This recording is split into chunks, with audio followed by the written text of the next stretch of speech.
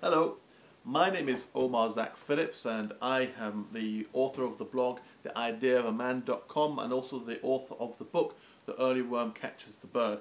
And today we're going to be doing another one of what we call Wake Up Mondays. Wake Up Mondays is just a way of inspiring you on a Monday morning just to get up and do what you need to do and live the life that you're here to live.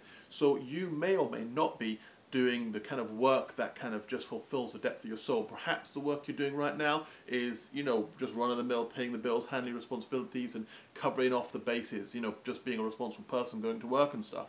Or maybe you're living your dream. Maybe you're in your dream career, in your dream role. I don't know how it works for you. But whatever the case may be, Monday morning can sometimes come back around and all of a sudden we're back to the grind, back to the, you know, things we've got to do, the responsibilities we've got to handle.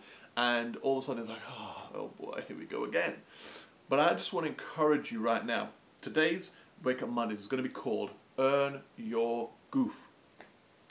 Where do we get this from? Well, earn your goof means there's going to be a time, and there should be a time, and I strongly encourage you to have a time when actually, at the end of a good working week or end of a good working day, you simply just unplug, switch off, and just goof off.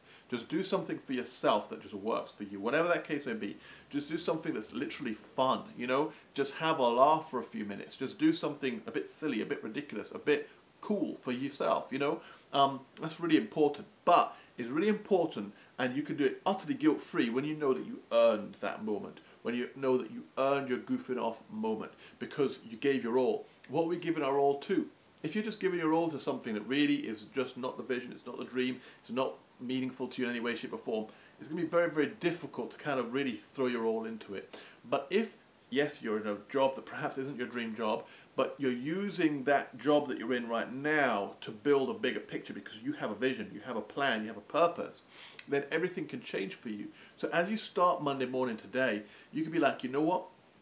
I'm not doing my dream thing right now, but I am working towards it. So I'm going to throw myself in, learn everything I can learn, grow as much as I can grow, use every spare moment to kind of keep expanding my brain, all those kind of things, so that when it's all said and done, I can just goof off completely goof, completely goof free, completely guilt free, and just grab that goofing off experience by the horns and have a wonderful time because I've earned it. You are worth it. You're worth having a fun existence, having a life that's meaningful and powerful and wonderful. But make sure that you live it in such a way that nobody, not even your internal self, your internal dialogue, can make you feel guilty for enjoying your life.